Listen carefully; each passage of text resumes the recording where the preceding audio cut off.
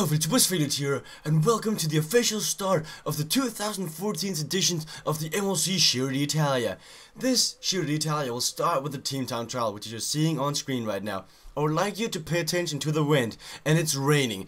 The conditions are horrible in Belfast. Today, it's gonna influence everyone that the wind is 50 and it's raining.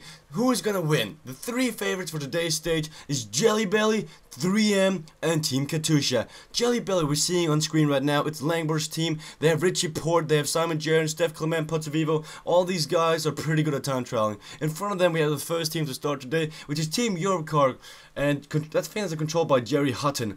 And we had the big upset with uh, Phil Gilbert getting picked very early in the first round. We'll see how he'll do. We won't expect Europcar to do much today. They will cross the first checkpoint right now in a solid first position, but it's because they're the only team out there. Soon we'll see Jelly Belly what, Jelly Belly what they're gonna do. They're gonna set the mark for teams to come. Behind Jelly Belly, Movistar is going. On Movistar we have Sylvain Chavanel and Rui Costa, both really good time trialers, and they will set their mark on today's stage. Jelly Belly is down one second on Team Europcar. Langborg has to be really disappointed by that because Jelly Belly are one of the favorites today, and they should be winning at every single time check. Here, we have my good friend Baseball Lovers team. His team is a, uh, is a wide variety of uh, good riders like Talansky, Farrar, Phinney, and then you also have Andre Sanchez, uh, uh, van Bilson, and you have some more guys on there. So Bruno Sancho, well, you can't call him a mediocre guy. Bruno Sancho is a god and will always be a god. But everyone is behind Team Europcar. Team Europcar has really been setting a pace. One of the reasons these guys might be going first into every single checkpoint is the weather are classic like like in the classics, it's always rainy, it's very windy, echelons appear and all that, and we see that this classics team with like uh, Niki Terpstra, Bada Pols, Greg Van Avermaet, Gilbert, they all like this sort of weather.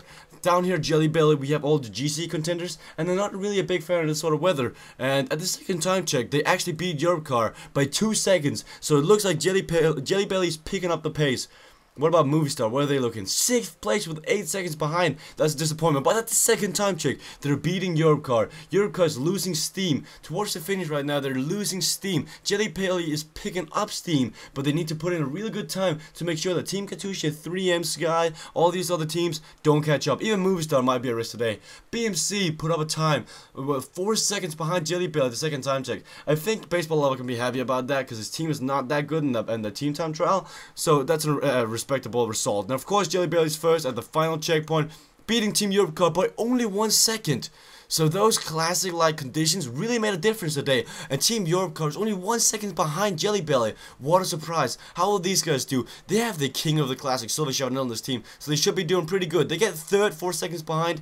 Not an optimal start for uh, Rui Costa. He didn't lose too much time, but still, you'd like him to be up there. Losing to, to Team Europcar in the time time trial, probably not the best, but considering the conditions today, I think it's acceptable. But here we have BMC crossing the line, 14 seconds behind, speaking about unacceptable. But here, Team Katusha has been going really fast, beasting out of time 10 seconds faster than anyone else at the other time checks.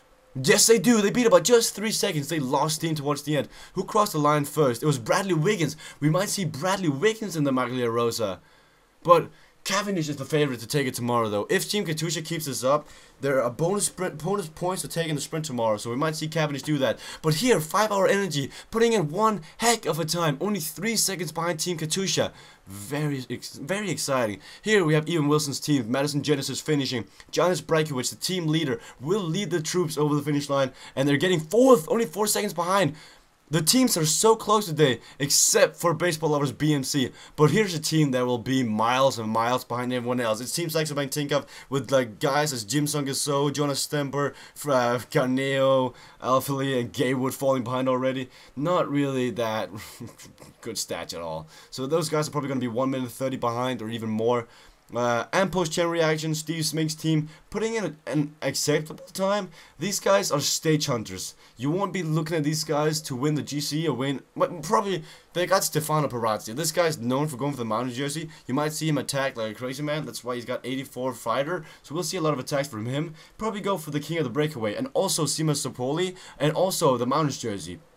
There are points to get there if you go in the breakaway. But speaking about breakaway team, here is Topsport Flander, and this is Fajaskic's team. This entire team is built around built around getting in the breakaway and doing something. They don't have one specific leader everyone on this team basically has 75 mountain or above. If they, so any one of these guys can win from a breakaway. I don't think they will work together for the GC though, but if they did, they would have one heck of a team, but that's not how the AI works. Here is Marty C's team. Omega Pharma Quickstep with Kwiatkowski in the front, really not putting up that great of a time, with being 27 seconds behind and out of top 10 terrible news. But 5 Hour Energy seems to be the surprise so far today. Second place, 3 seconds behind. Let's see, but on the screen right now, we see the team crossing the line real soon, but I want to check 3 Hour Energy. It's an American team, I think. Or 5 Hour Energy, 3 Hour Energy. They've got Bonin who can sprint. They got Viviani and Bonin, so those guys can actually take bonus seconds tomorrow. So look forward to that. We might actually see a fight for uh, the Maglia Rosa. And here, Orica GreenEDGE, 6 seconds behind. I think Chudu would have liked to have been faster than that. Uh, he's got Christopher Horner, he's got Basel, he's got Koenig. All these guys can climb. Losing 6 seconds, it's not bad. But come on, you want to start with a bang. Speaking about starting, hopefully not start with a bang. I think this one was a dud. Uh, they were 16 seconds behind in 11th place. Pretty horrible for Handspal. Next teams to finish is Team Netherman Jora and Wantigo Berg. How is Annavirus team going to finish? They were actually third at both checkpoints. Are they to surprise today? Oh, they got 8th, 9 seconds behind. These conditions have really made it close today, and we see the wind has gone down. We might see some teams finish faster than others. We're still, oh, here's 3M. 3M was 4 seconds behind us at the first checkpoint. How are they to do at the second checkpoint? Here they were, two seconds behind. We're gonna have a real sprint finish for 3M. Can 3M catch up to Katusha?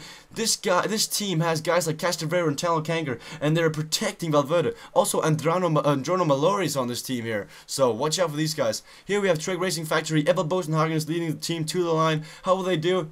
They've been kind of mediocre in today's stage, placing in the middle of the peloton, and it looks like they will also finish like that. So not that good of a result, but these guys are riding out for Kreuziger. Kreuziger can get in the top 10. What the heck? They got second place? It looked like they were getting nowhere. And suddenly Trek Racing Factory gets second place. I think the conditions played a role in this. Let's see, 3M. How are they going to finish today? The wind has gone down since uh, Katusha was out there. Is 3M going to win it? 3M got 10 seconds. It looks like the conditions really made a difference here. 3M leading the race with 10 seconds. But here's Team Sky. Team Sky was first at the first checkpoint, second at the second checkpoint. Cancellara leads the team. Oh my god, only two seconds behind. Team Sky out of nowhere, but the real winner today was 3M. And Bennett and Sausti gets to wear that Maglia Rosa in this weather conditions. But tomorrow, Echelons will appear. 50, uh, 50 wind. I mean, come on, that is to be rough. You're really to be looking out tomorrow. Cancellara in second place, or in eighth place, only two seconds behind. This guy might go for a breakaway and get some uh, intermediate sprint points. Watch out for that guy. What about the, the young classification? Fabio Aru doing good. Moreno Moser can sprint. We might see Moreno Moser do something. Ruffle might get down in sixth place. That's a disappointment for Chew Dude. He would have liked to have done better on the very first stage. But congratulations to Kama Power proving that first pick is very crucial in the MLC draft. Getting first, on, first on the first stage. Come back tomorrow. We'll be seeing a fight for the first place uh, what's his name? Where is he? Where is he? Where is he? Cavendish can take the jersey tomorrow. Cavendish can uh, honestly take the jersey tomorrow because if he's 10 seconds behind, he can then sprint and get bonus points. So watch out. The fight for Mag Maglia Rosa is not over yet. Come back tomorrow for Echelon sprints and action. Thank you guys for watching and I'll see you guys later.